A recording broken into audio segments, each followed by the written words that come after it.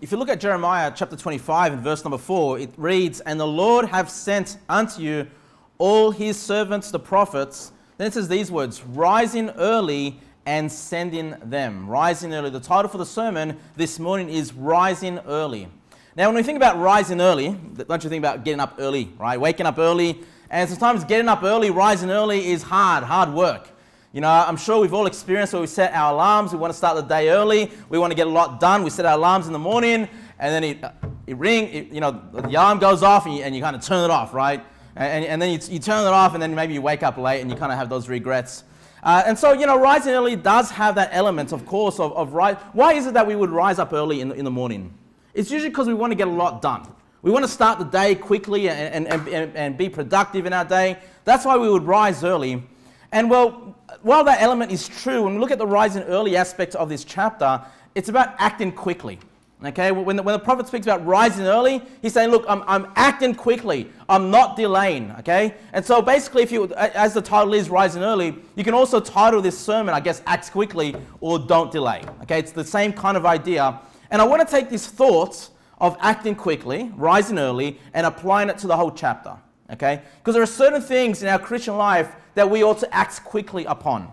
Okay, not delay upon. And I, I think if you act quickly upon these uh, aspects that we look through in this chapter, you're going to have a more fulfilled, a, a more peaceful uh, Christian life. Okay, so let's start there in verse number one, Jeremiah 25, in verse number one. It says, The word that came to Jeremiah concerning all the people of Judah in the fourth year of Jehoiakim, the son of Josiah, king of Judah, that was the first year of Nebuchadrezzar, king of Babylon uh, the which Jeremiah the prophet spake unto all the people and to all the inhabitants of Jerusalem, saying, Okay, first thing I want you to notice as we begin this chapter is who he's preaching to. If you were here for Jeremiah 24, we saw that he was preaching to the temple, to the people of God, right? To the house of God, because he, he saw those two baskets of figs before the temple of the Lord. Well, now, who is he preaching to? He's preaching to, in verse number 2, unto all the people of Judah and to all the inhabitants of Jerusalem. So this uh, prophecy, this, this, uh, uh, these words that Jeremiah is speaking is more general. It's to everybody that makes up the land. Believers, unbelievers, it doesn't matter. It's to all the people in Judah. Verse number 3. Verse number 3 uh, tells us how long Jeremiah has been in the ministry. How long Jeremiah has been preaching this message of destruction, this message of judgment. It says from the 30th uh, sorry, from the 13th year of Josiah, the son of Amon, king of Judah, even unto this day. Okay, so this is when he started on the 13th uh, year of Josiah to this day, as he's saying these words, it says, that is the three and 20th year. So 23 years. This has been Jeremiah's message. He's preaching this, think about this, for 23 years. I'm kind of getting tired preaching through Jeremiah every week. Okay? Imagine preaching these words for 23 years. God's going to judge you. Turn from your sins. You know, get back to God. You know, turn away from your. For 23 years. Could you imagine? And the people are still in their wickedness. The people are still not right. Let that be encouragement to you that go door to door soul winning.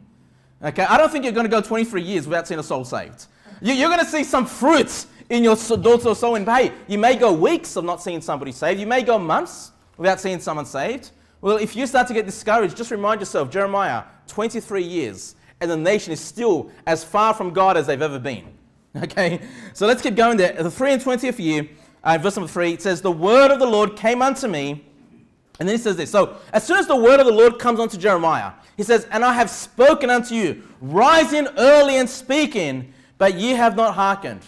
What is Jeremiah saying? As soon as God's word came upon me, I acted quickly, I didn't delay, I came immediately and told you what I was revealed to by God. Okay? So, as we saw, you know, this is 23 years of full time ministry of Jeremiah.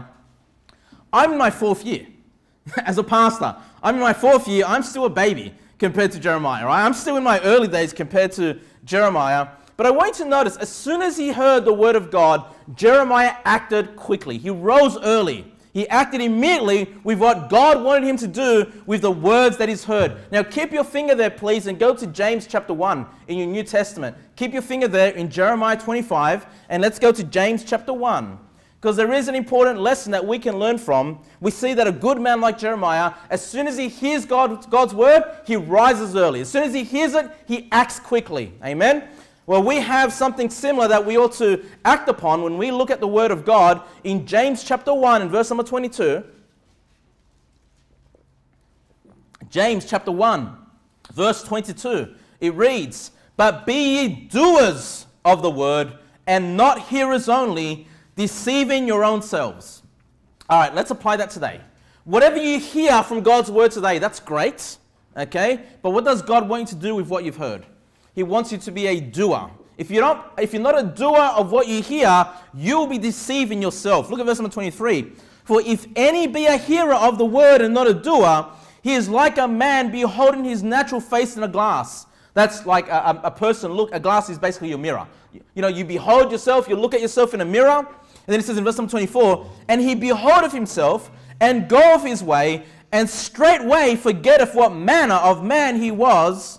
But whoso looketh into the perfect law of liberty, hey, that's the Bible, and continueth therein, he being not a forgetful hearer, but a doer of the work, this man shall be blessed in his deed. What do we learn here? We learn that as soon as we hear from God's word, we ought to act upon it quickly. When we look at the perfect law of liberty, when we look at this mirror, this glass, it's like looking at yourself, it's looking at your reflection. You know, when you read the Bible, you ought to see yourself in the Word of God. Hopefully, you see some good examples of yourself, but many times you're going to see many of your sins. You're going to see many of your failures. You're going to see many of your weaknesses. Just when you look at a mirror, you may see many of your blemishes. You may see, I've got a lot of freckles. I see a lot of freckles, right? Uh, you know, teenagers go, you know, tend to have pimples. You're going to see those pimples. You know, as you age, you get wrinkles. You're going to see that in the mirror. But the idea here is if you come to church and, or, you know, you hear from God's word, you read your Bible, and you don't act upon it, it's like looking in a mirror, going away and forgetting what you look like. In other words, if you don't act on what you hear, if you don't act upon it quickly, you're going to forget. Okay? Uh, you, you might say to me, oh, brother, pa- Pastor Kevin, that was a great sermon this morning. Yeah, but if you don't act upon it this week, you're going to forget it. In a few days later, I'm going to ask you, what was that sermon about? It's like, oh, I don't know. I forgot. And that happens to all of us. Even I forget sometimes what I preach.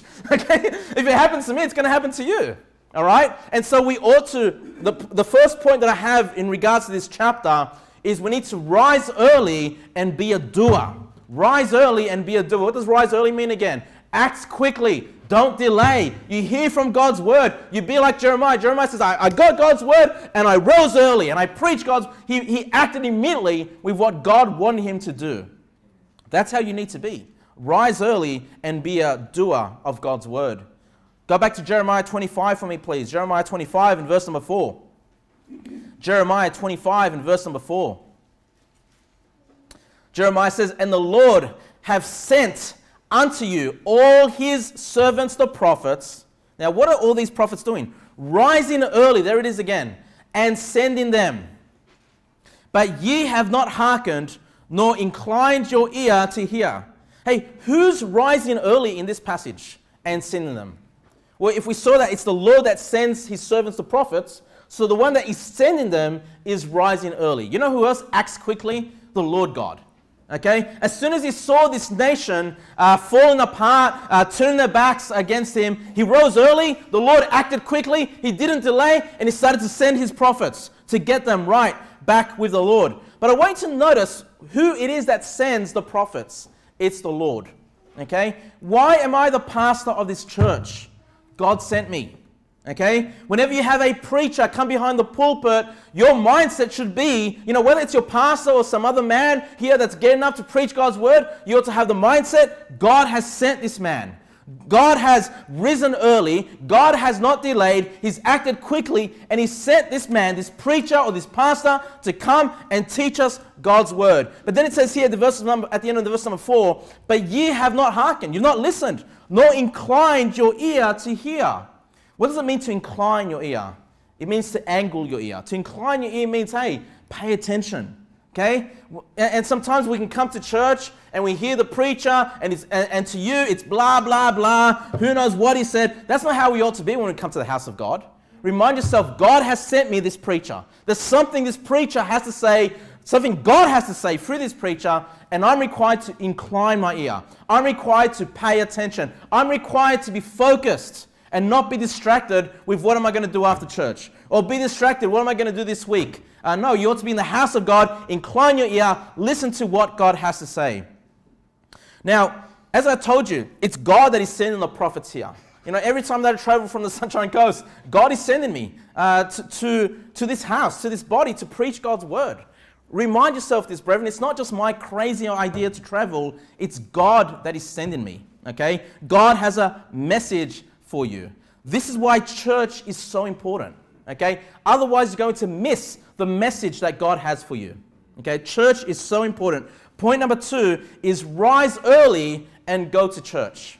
Rise early and go to church. Act quickly. Don't delay. Hey, sometimes some of you do have to rise early.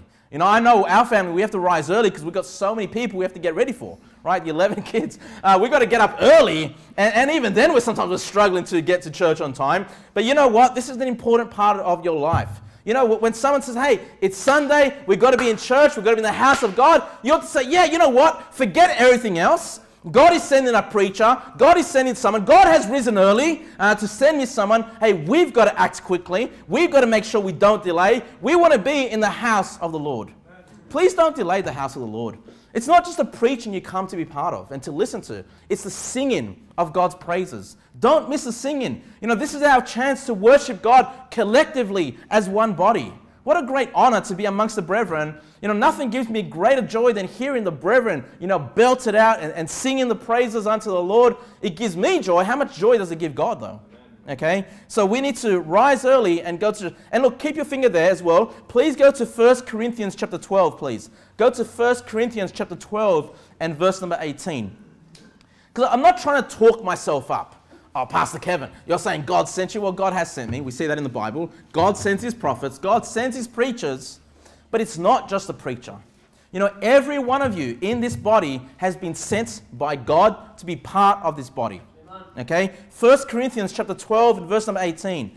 1 Corinthians chapter 12 and verse number 18. Look what it says here. And the context of this is when it talks about the body, it's about the church, the local church. It says, But now have God set the members every one of them, every one of them in the body as it have pleased him. Say, why am I in Blessed Hope Baptist Church this morning? Because God has taken you and set you here for his purpose, for his reason. Okay? You didn't just randomly decide to come to church. No, God said, you know what? I need to set you in the house of God. I need to set you at Blessed Hope Baptist Church, right? It says at the end of verse number 18, as it have pleased him. You know, it pleases God that you're in church. It pleases God that you are here acting as a member of this church. So it's not just a pastor, not just a preacher that got sent to God to be in this house to preach his word. No, each one of you are important. Each one of you, God has said, you know what? I'm going to take this person and put them here in Blessed Hope Baptist Church to hear the preaching of my word. God has acted quickly. God has not delayed. Okay? And so we ought to react in the same way. Point number two was rise early and go to church. Back to Jeremiah 25, please. Back to Jeremiah 25. Verse number 5. Jeremiah 25, verse number 5. So, what is it that the prophets that have been sent by God, what are they preaching? It says in verse number 5 They said, Turn ye again, now everyone from his evil way and from the evil of your doings, and dwell in the land that the Lord hath given unto you and to your fathers forever and ever. Brethren, we learn something about pastors here or preachers. Okay? If God is sending a prophet, if God is sending a preacher, this is what they're going to preach. Okay? Turn ye again now everyone from his evil way. You know, preachers are supposed to call out sin.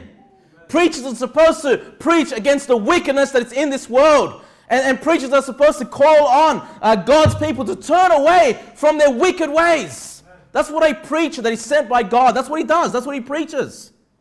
You know, the preacher that refuses to preach against sin, that preaches, that refuses to preach against the wickedness of this world, you can chalk it down, they're not sent by God. Because the Bible tells us that all his servants, all the prophets, are preaching this same message to turn from your wickedness. Okay? To live a life that is holy and pleasing unto the Lord. Let's keep going. Verse number six. And go not after other gods to serve them and to worship them, and provoke me not to anger with the works of your hands, and I will do you no hurt. What is that God saying? If you don't walk in my ways, I'm going to hurt you. But if you, you know, if, if, sorry, if you don't walk in my ways, is that what I said? I hope that's what I said. If you don't walk in my ways, I'm going to hurt you. That's what God says. But if you do work, walk in his ways, he says, I will do you no hurt. Verse number seven. Yet ye have not hearkened unto me, saith the Lord, that ye might provoke me to anger with the works of your hands to your own hurt. So God is saying, Yeah, I'm going to hurt you, but really, it's your own hurt. You're doing it to yourself because you're not listening to the preaching of God's word. Yeah. Point number three that I have for you, brethren, is rise early and turn from your evil ways. Rise early, act quickly, don't delay. Whatever sin you have, brethren, and you know, you've sinned this week. Don't tell me I'm not a sinner. You're a liar. Okay, if you say that. The Bible says that if you say you have no sin, the truth is not in you. Okay? You're deceiving yourself. You're not deceiving anybody else, you're only deceiving yourself. Okay? Listen, we all have sin. You need to act quickly when you sin. Don't delay. What am I supposed to do when I sin, Pastor Kevin? First thing you do is bow your head humbly before the Lord and say sorry. Go ask God for forgiveness of sins. Okay? I'm not talking about salvation here. Okay, salvation is its own topic. I'm talking about as a believer, as a saved Christian. You're going to sin every day of your life. As, as you walk, even the thought is, of foolishness is sin, the Bible says. Okay? You think a foolish, stupid, wicked thought, that's a sin. Hey, rise early, don't delay. Okay? Don't let God become angry and hurt you. What's the point of that? Okay? We don't want to be hurt by God. You know, we, we don't want to live a life where we're constantly contrary to God and we never humble ourselves and say, God, please forgive me.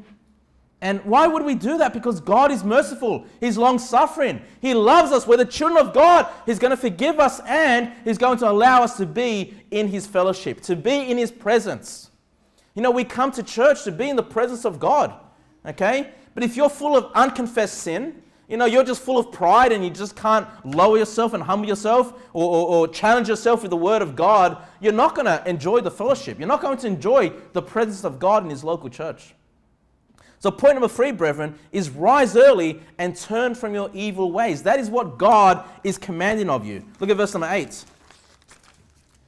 Therefore, thus saith the Lord of hosts, because ye have not heard my words. All right, now we're about to read uh, some really uh, difficult verses, some really challenging verses here, okay? We're going to be reading about God's judgment. So, it's important to rise early, okay, and, and turn from your evil ways. And one aspect of doing this is, well, we'll have a look at this. Let's read verse number 8. Therefore, thus saith the Lord of hosts, because ye have not heard my words, behold, I will send and take all the families of the north, saith the Lord. So let me just tell you who the families of the north is. So you may remember that the Babylonian kingdom is coming to judge Judah. They're coming from the north. When God refers to the families of the north, he's talking about how Babylon is an empire and it has multiple nations, many families, right? Many nations, many families under its power. And so the Babylonians, they're not coming, it's not just the Chaldeans that are coming, but all the other nations that make up that empire, they're coming from the north, saith the Lord. Let's keep going, verse number 8 9. And Nebuchadrezzar, the king of Babylon, my servants, wow, God's servants, this wicked man. You know what? If God needs to take a wicked government, and judge a nation, that's what he's going to do. That's still the servant of the Lord. Even a corrupt government official is still the servant of the Lord. Okay? My servants, and I will bring them against this land and against the inhabitants thereof and against all these nations round about and will utterly destroy them and make them an astonishment and a hissing and perpetual desolations. Moreover, I will take from them the voice of mirth and the voice of gladness, and the voice of the bridegroom, and the voice of the bride, and the sound of millstones, and the light of the candle. God is speaking about his judgment, that it's going to come perpetual desolations. Desolations basically means destruction or, or damnation. And God's saying, look, uh, um, it's, it's going to be forever destroyed if you don't turn back to me.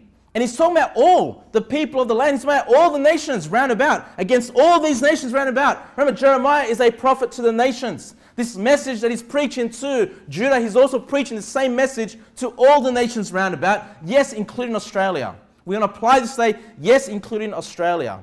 But you can see here that God's judgment will come. You know, if, if a nation is wicked, if they turn against the Lord, God's judgment will come. And brethren, when you, I'm talking about you as an individual, when you live a life of sin, unconfessed sin, okay, prideful against the Lord, you know, not caring about the things of God, God will bring his judgment upon you. Okay? So, point number four, in order for you, one aspect of getting right with God, point number four, is to rise early and fear the Lord. Rise early and fear the Lord. Act quickly. Have a fear of God in your life. I promise you this if you have a fear of God, you're going to walk more righteously. You know, children that have a fear of the parents, right? Um, you know, that I, I, know if I disobey, I know if I don't do this or that, my parents are going to come uh, with a rod and smack me, they're going to correct me. You know, that fear can drive people to do what is right. Well, that's the same thing. You know, we need to rise early, act quickly, have a fear of the Lord upon us. Hey, don't think, well, you know what? I, I've been sinning. Hey, where's God's judgment? God's judgment is coming. Okay? Sometimes God just is long suffering, He's merciful, He gives you time to get right with Him before His judgment comes down. But listen, if you go a long time with being far from the Lord, when His judgment comes, it's going to be hard. Okay? It's going to be severe, perpetual desolations. God will take you down. God will take you down even as His child. Okay? If you turn against Him, if you rebel against Him, if you just have a healthy fear of God, understand that God gets angry okay? That God hates your, your wicked ways and, and, uh, you know, God is giving you time, you have that fear, it's going to help you to walk in a righteous path. Point number four, brethren, was rise early and fear the Lord, act quickly. If you don't have a fear of the Lord today, get one today. Get the fear of the Lord today. Can you please keep your finger there and go to Psalm 34 for me? Psalm 34.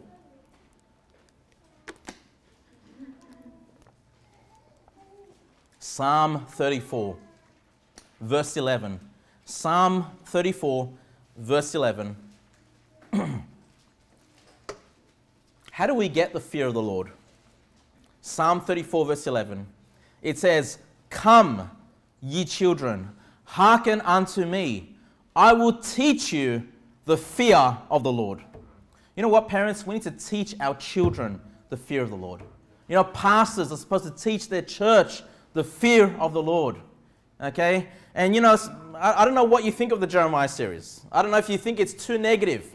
It's, you know, why did Pastor choose this book to go through this year? Well, you know what? I'm teaching you the fear of the Lord. Okay, that's what we're commanded to do, to teach our children the fear of the Lord. Drop down to verse number 16 in the same psalm.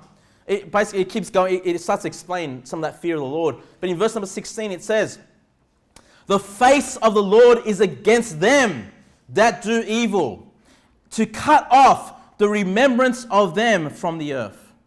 Okay? So notice this. If you do evil, God's face will be against you. Okay?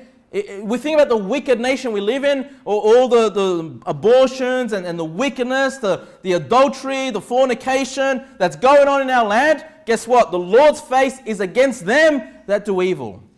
If you remind yourself this, man, if I do evil, if I sin, God's face is going to be against me. Well, that's going to help you understand the fear of God. Develop that fear of God in your life. Back to Jeremiah 25, verse 11. Jeremiah 25, verse 11. Parents, teach your children the fear of the Lord. Okay? It's good to teach them the love of God. It's good to teach them the gospel and salvation. It's good to teach them all those things, but you must teach them the fear of the Lord. You must teach them the fear of the Lord. This is what's going to get your children to walk in the right paths. Okay? We're up to verse number 11, Jeremiah 25, verse 11. it says, And this whole land shall be a desolation and an astonishment, and these nations shall serve the king of Babylon 70 years. This is the first time that the 70 years is mentioned. I, I love the Bible. It's so amazing. Like just the prophecies. Like God, you know, this, this, you know, whatever you think of Jeremiah, this proves that Jeremiah is a prophet of God. Because that's exactly how long the nation was under Babylonian captivity for 70 years. All right? Now, I'm going to quickly read to you from Daniel chapter 9. You don't need to turn there. Daniel chapter 9, as you know, in the book of Daniel, that he and his three friends, they were taken into captivity during this time by the king of Babylon. And there's something that I, I like what Daniel says. In Daniel 9, verse 1, it says, In the first year of Darius, the son of Ahas- Ahasuerus, and the seed, sorry, of the seed of the Medes, which was made king over the realm of the Chaldeans. And this is this In the first year of his reign, I, Daniel, understood by books the number of the years whereof the word of the Lord came to Jeremiah the prophet, that he would accomplish 70 years in the desolations of Jerusalem. Okay? So Daniel, as he's in captivity by the Babylonians, he goes, oh, you know what? I, I found the books of Daniel. I started to read it during the first year of King Darius. And there I learnt that we're going to be here for 70 years. I just, I love those little things. I love those little, you know, connective things that we see in the Bible. And what? If, if a good man like Daniel is reading Jeremiah, then you better get your head into Jeremiah as well. Okay? Uh, it's such an important book. There's so many great prophecies. Again, don't think of this book as just something in the past. As we keep going into this chapter, you're going to notice there's a lot of relevant things about our future. Okay? Or at least the, the last generation of Christians that will go through the end times. All right? Verse number 12. I'm not saying that we're necessarily that, that generation, by the way. I'm not here making a prophecy that Christ is going to come back in 10 years or 20 years. I'll tell you a quick story. Um, back in my sort of mid 20s, um, I was attending a church and uh, I kind of had a desire already then to become a pastor. And I was thinking, oh man, what do I have to do? Go to Bible college? Okay, Bible college, they'd say it's like three or four years. All right, and then I'll have to probably go on, they, they call it deputation where you go around churches and you ask churches that, that they're going to basically uh, help support you. You know, one church will give you $50 a month, another church will give you $50 a month, another church might give you $100 a month, another church might give you $20 a month. So you're, trying to, you're going around churches, it's called deputation. You're trying to build up in, enough support so you can go out there and start a church or something like that, right? Something, okay, four years Bible college, two years, six years before I get out there and start a church. That's what I was kind of thinking in my mid, mid-20s. And then my pastor, you know, gets up and he goes, you know what, this was, so what was I, mid-20s? What year was, would have this been? in the early 20, mid, mid 2010s or something, right? And uh, is that right? Anyway, you guys know. But he goes, oh, you know what? I'll be surprised if Jesus doesn't come back in five years. Like if Jesus doesn't come back within five years, I'm going to be surprised, the pastor said. Now, he didn't say Jesus will come back in five years. He just said, I will be surprised. And I just thought, well, that's my pastor, right? He's a, he's a wise man of God. He knows God's word five years. But for me, six years before I start church, I guess it's not going to happen. Well, I thank God I didn't go to Bible college, to be honest. but anyway, I'm just trying to show you. I'm not trying to put words, I'm not, please don't walk away with misunderstanding. I'm not saying that we're going to be the last generation. We could be, I don't know. Okay? But the end times might still be 100 years away, 200 years away. We don't know. Okay? It doesn't matter. We hear what God's word says and we do what God's word says, regardless of what situation, what period of time we're in, and we make sure we do what is right. Okay? What verse am I up to? Jeremiah 25, verse 12. All right, 12. And it shall come to pass when 70 years are accomplished that I will punish the king of Babylon. Hold on, God, that wasn't that your servant? Yep. okay. So this is what's great because Nebuchadnezzar is wicked. Now, I believe he gets saved at the end of his life. But he's weak. He's a wicked man at this point in time, right? And his kingdom is wicked. They've got false gods and all these kinds of things. And you might say, well, God, it doesn't seem fair that you would use such wicked people, you know, such wicked authorities to make our life difficult. You know, to judge this nation, God may use that as his servants. But I promise you this God will judge those same people. Okay? God will judge those same people. And it says there, I will, that I will punish the king of Babylon and that nation, saith the Lord, for their iniquity and the land of the Chaldeans, and will make it a perpetual desolations. God is saying, when I judge Babylon, they're going to be destroyed forever. That Babylon kingdom of this day does not exist anymore. Okay? But to the Jews, those of Judah, it wasn't this perpetual desolation because they knew they would be in captivity for 70 years and then that would be brought back into the land. All right? So we see God's judgment there between the Jews, but also his judgment on the Babylonians, the same people he would use to judge the Jews. All right? Verse number 13.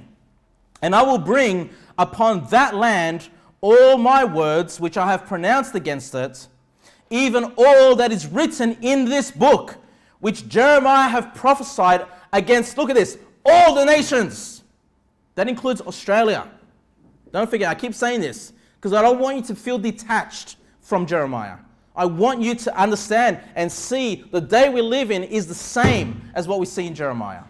All right? Verse number 14 For many nations and great kings shall serve themselves of them also, and I will recompense them according to their deeds and according to the works of their own hands. So, what's the promise? The promise is that our nation will be judged by God. Okay? God is a judge of the nations. Then, you know, the wickedness that goes on in our land will not go unnoticed. Okay? Verse number 15, and it won't go unpunished. Verse number 15, for thus saith the Lord God of Israel unto me. Now look at this. Take the wine cup of this fury at my hand and cause all the nations to whom I send thee to drink it. And they shall drink and be moved and be mad because of the sword that I will send among them. Then took I the cup at the Lord's hand and made all the nations to drink unto whom the Lord hath sent me. So this is quite an interesting thing. God would use Jeremiah with this, I guess, this prop. You know, Jeremiah, as he would go, not just after preaching to Judah, he would go throughout the nations and he would take with him this cup. All right? This cup that would represent, you know, alcoholic wine. All right? And, and so, you know, he would go with this illustration and say, hey, this will be the cup that you drink of. This is God's judgment. This is God's destruction that will come upon you. You know, I'm reminded with Brother David when he gets up to preach, doesn't he often like to bring like a little illustration? I remember when you did uh, Nehemiah, didn't you have some bricks or something?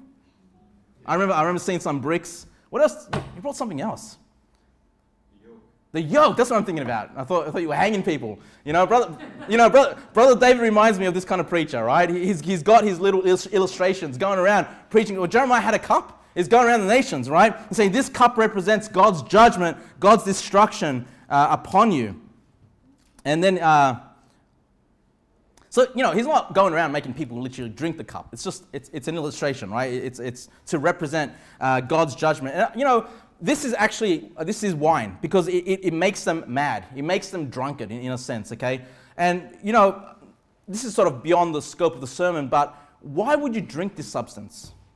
You know, the same substance that represents destruction, that represents God's anger and God's wrath upon a wicked nation. Why then would you drink alcohol? You know, if, if, it, if it's to destroy a nation, what's it going to do to you? Okay, it'll destroy you as well. Let's keep going. Verse number 18 to wit or to witness Jerusalem and the cities of Judah and the kings thereof and the princes thereof to make them a desolation, an astonishment and hissing and a curse as it is this day. Now, we're going to go through a list of nations that God will judge. Verse number 19 Pharaoh, king of Egypt, and his servants, and his princes, and all his people, and all the mingled people, and all the kings of the land of Uz, and all the kings of the land of the Philistines, and Ashkelon, and Azzah, and Ekron, and the remnant of Ashdod, Edom, and Moab, and the children of Ammon, and all the kings of Tyrus, and the kings of Zidon, and the kings of the isles which are beyond the sea. The isles are the, the nations uh, that are in the sort of Mediterranean region. Okay? That's they're referred to as the, the isles. Verse number 23 Dedan and Tema and Buz and all that are in the utmost corners, and all the kings of Arabia, and all the kings of the mingled people that dwell in the deserts, and all the kings of Zimri, and all the kings of Elam, and all the kings of the Medes, and all the kings of the north, far and near, one with another. I say, oh man, Australia's not mentioned, thank God. And all the kingdoms of the world which are upon the face of the earth. That's all of them. That includes us, that includes our nation. Okay? And then it says, And the king of Sheshach shall drink after them. Now, I'm not sure what Sheshach is exactly. I'll give you an idea. This, uh, this, uh, this, this uh, sort of um, nation is mentioned twice in the Bible and only in the book of Jeremiah. So if you can keep your finger there and go to Jeremiah 51. Jeremiah 51. Jeremiah 51 verse 41. I don't think it's complex. I think this is the correct interpretation. But just in case I'm wrong, it could be something else. But I think Jeremiah 51 gets it right here. Jeremiah 51, verse 41. Jeremiah 51, verse 41. It says, How is Sheshach taken? So there it is. And how is the praise of the whole earth surprised? How is Babylon become an astonishment among the nations? So, what we see here in Jeremiah 51, verse 41, all the nations will be surprised when Babylon gets judged. Okay? And then we saw the beginning of verse 41, how is Sheshach taken? So I believe Sheshach is just another name for Babylon. Okay? Which kind of makes sense because God is using the Babylonians to go and, and wipe out these nations. All right? To take them into captivity, to, to kill, uh, to, to, uh, you know, um, to pillage. And then it says, and the king of Sheshach in verse number 26, Jeremiah 25, the king of Sheshach shall drink after them. So God will judge, as, as we saw, God will also judge Babylon once he's finished using them for his purposes. All right. Verse number 27. Therefore, thou shalt say unto them, Thus saith the Lord of hosts, the God of Israel, drink ye and be drunken. So you can see it's alcohol, and spew and fall and rise no more because of the sword which I will send among you. And it shall be, if they refuse to take the cup at thine hand to drink, then shalt thou say unto them, Thus saith the Lord of hosts, ye shall certainly drink. You know what? After Jeremiah's going around with his cup, preaching their judgment, God's going to destroy you, and that like the people of the land of the other nations, we're not going to drink of that cup. God's not going to judge us. You know, we're not, we're not part of this judgment. What's Jeremiah saying, right? You shall certainly drink. Even if you don't want to, God's judgment's going to fall. You know, sometimes I, when we go door to door soul winning, you ask people and, and maybe you say something like, you know, are you concerned after you show them that the sinner goes to hell that does not believe on Christ? And they'll say something like, well, I, I don't believe in hell. You know, they'll say, well, I'm not worried because I don't even believe in hell. Well, whether you believe in God's judgment or not, okay, you shall certainly drink. They're going to face God's judgment whether they want it or not. Okay? regardless if they believe it or don't believe it, you know, and, and here's the truth everybody believes it. You know, within the heart of man, everybody knows that one day they're going to stand before God. It's just that these people that say they don't believe it, they just don't want to think about it. You know, they don't want to acknowledge God. That they don't like having to consider those things. Well, that's our job, right? Our job is to preach them God's word because faith comes by hearing and hearing by the word of God. Now, uh, verse number I lost my place again. Verse number 29? 29. For lo, I begin to bring evil on the city which is called by my name. And should ye be utterly unpunished, ye shall not be unpunished, for I will call for a sword upon all the inhabitants of the earth, saith the Lord of hosts. God promises He's going to bring, He's going to call for a sword upon all the inhabitants of the earth. Okay? God's going to judge this whole earth. Okay? And we saw the, con- the direct context of this is what? The Babylonians. Okay? And then the Babylonians will be destroyed. Right. Now, this is where we want to take what we've read and apply it to the coming judgment of God. You know, God right now, you know, is holding his wrath to some extent. Okay? One day his wrath is going to fall severely upon this earth. The day of the Lord, the day of God's wrath is coming. It's not going to be toward just one nation, it's going to be to the entire world. We read about this in the book of Revelation. And again, I'm teaching you this because I don't want you to feel detached. I don't want you to think, well, that was the past, Pastor Kevin. You know, we're living in relatively peace right now. How does Jeremiah apply to us today? Well, there's still a future to come. We may be that final generation, we don't know. Okay? So keep your finger there and please go to Revelation, the last book in the Bible, Revelation chapter 14. Revelation chapter 14. Revelation chapter 14, where we're looking forward to a time when God will destroy this earth with his wrath. When we read the book of Revelation, these are the seven, uh, the seven um, trumpets and the seven vials. Okay? In Revelation 14, verse number 10, I want you to notice the kind of language God uses to describe this coming judgment. In Revelation 14, verse 10, it says, The same shall drink of the wine of the wrath of God, which is poured out without mixture into the cup of his indignation. And he shall be tormented with fire and brimstone in the presence of the holy angels and in the presence of the Lamb. So God's wrath to come in the future, the end times, is being caught in the same way. This cup, this cup of wine, Okay? This cup of God's anger, indignation, his hatred toward wickedness. And the ultimate destination for those that face God's wrath will be in the lake of fire, tormented with fire and brimstone forever and ever. Brethren, God's judgment is coming on this wicked world. Sometimes, I, you know, you have this mixed feeling. You know, you, I, part of me, I, I want to see God's judgment on the wicked. You know, God, please take out your enemies. Take on, take these people out that hate you and that make our lives difficult. But then I consider, but they're going to burn for all eternity. right? And this is where the other part of us, we go out soul win. We try to preach the gospel, you know, try to get people into the kingdom of God that they would be right with God and not face this wrath.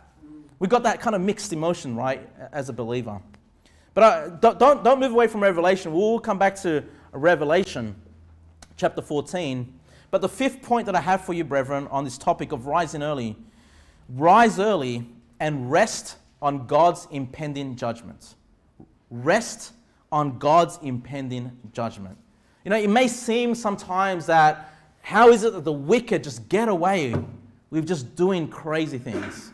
You know, Christians sometimes, even just read this in the book of Psalms, Christians sometimes may get discouraged Lord, I'm trying to live righteously. I'm trying to live godly. I'm trying to keep myself pure, Lord. Uh, but when I look at the rest of the world and I look at, you know, even those that aren't necessarily so wicked, Lord, they're living lives that are unholy and they just seem to prosper. They seem to be so happy. They seem to just be getting away with it, Lord.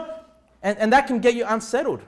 That can get you maybe even frustrated when you know you're trying to live a life that is just pleasing to the Lord, but the whole world is contrary to you. Hey, they may even mock you in the way you live your life.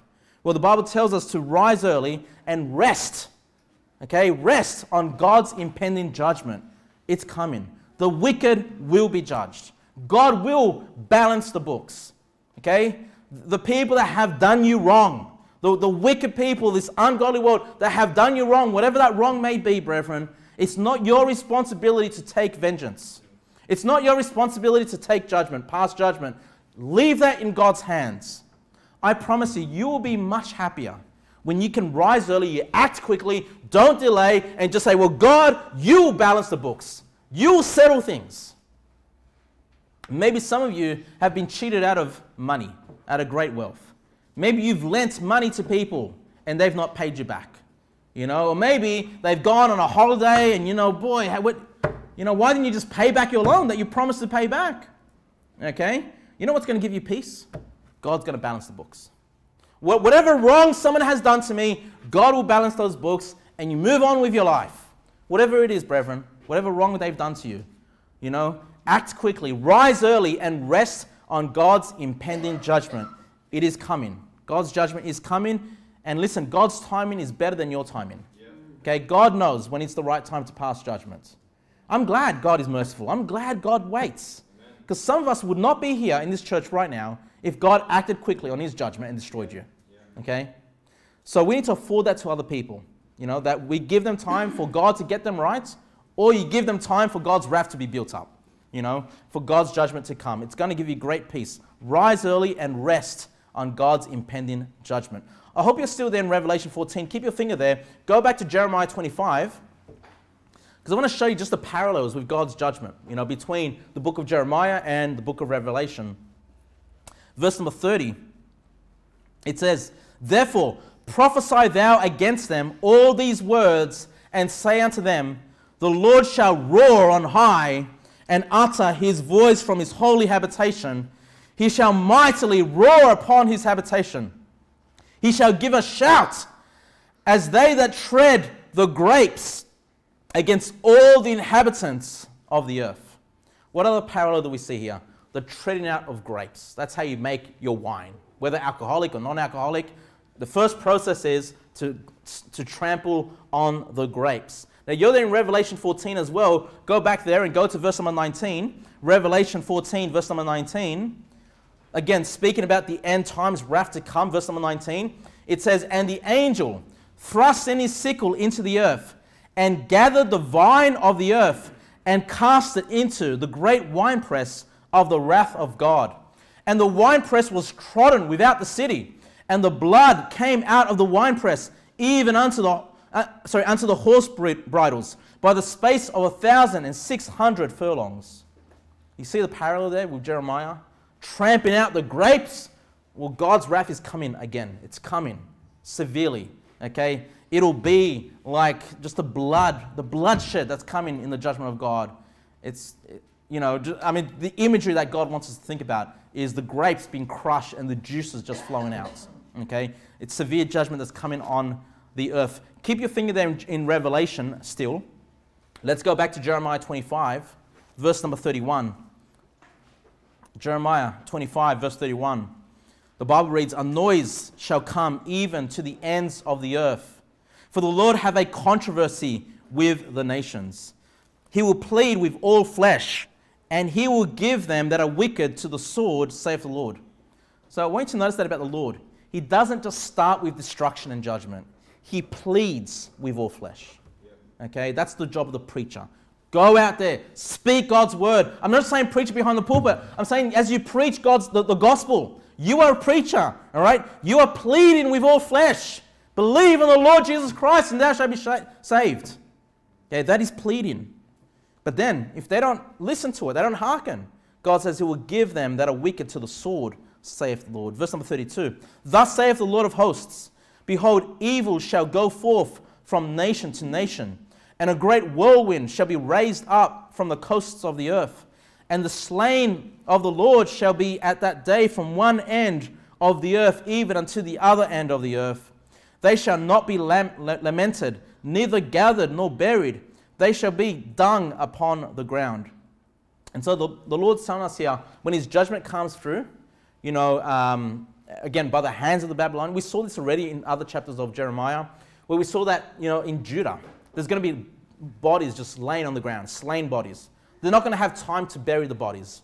And you have wild beasts that will just come and devour the flesh. Okay? Well, God is saying the same thing's going to happen to other nations. The other nations that have rejected God, they're not going to be, bodies aren't going to be gathered. There's not going to be enough time to lament. You're not going to be able to mourn, okay, because of the, of the captivity that's coming. And it says they shall be dung upon the ground. The idea, of course, you know, it's like it's going to fertilize the ground. It's just going to sit there. It's going to rot away.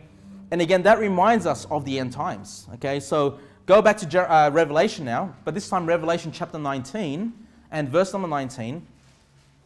I just, I just think the parallels between these two books are, are too, too great to ignore. Okay, Revelation 19, verse number 19. So this is toward the end of the wrath of God. Revelation 19 is the great chapter on the coming of the Lord Jesus Christ to establish his kingdom. In verse number 19, Revelation 19 19, the Bible says, And I saw the beast. That's another name for the Antichrist.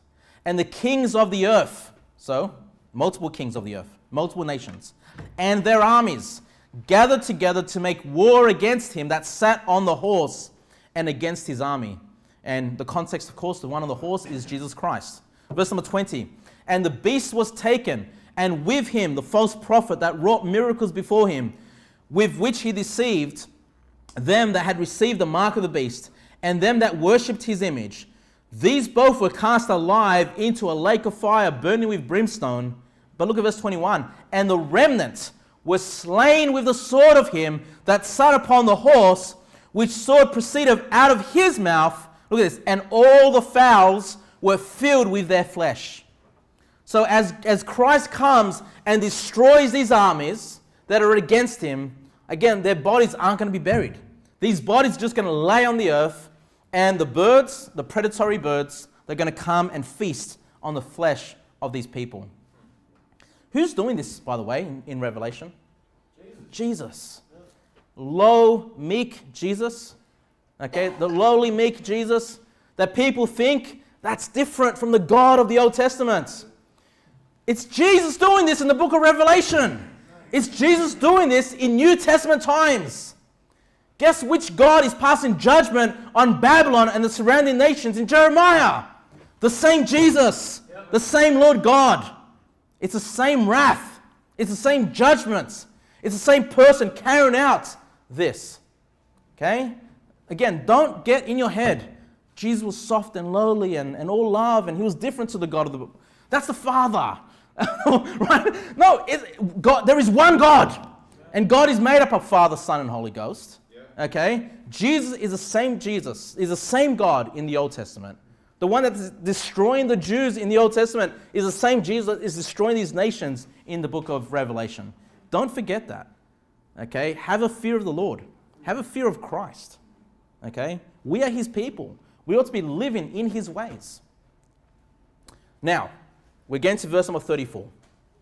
In Jeremiah 25, sorry. Jeremiah 25 and verse number 34. So, this is the last segment of this chapter.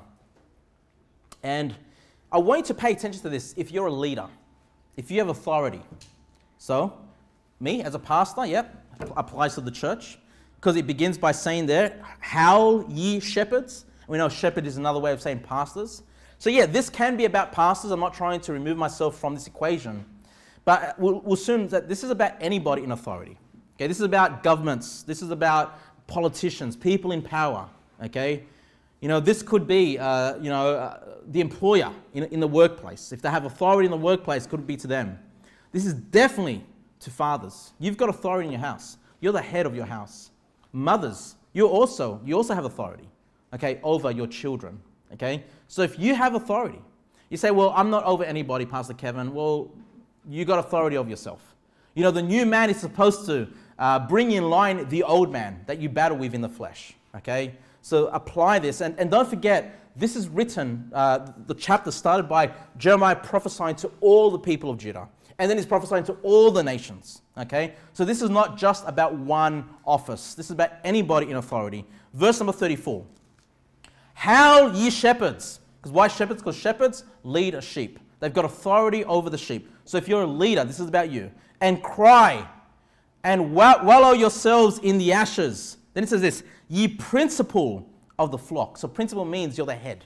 It's like in a school, you've got your school principal. He's kind of like the head of the school. The same idea, right? So this is about the leader.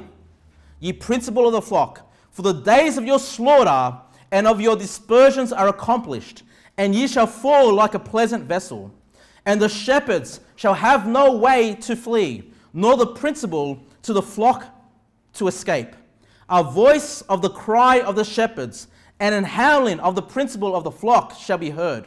For the Lord hath spoiled their pasture. You know what? The Lord can spoil your pasture. The Lord can spoil those that you have authority over. God can spoil the institution that you're over. Okay? God can do you harm. Okay? Let's keep going. Verse number 37. And the peaceable habitations are cut down because of the fierce anger of the Lord. He hath forsaken his coverts as the lion, for their land is desolate because of the fierceness of the oppressor and because of his fierce anger. Okay, so it, God has been referred to in verse number 38 as a lion.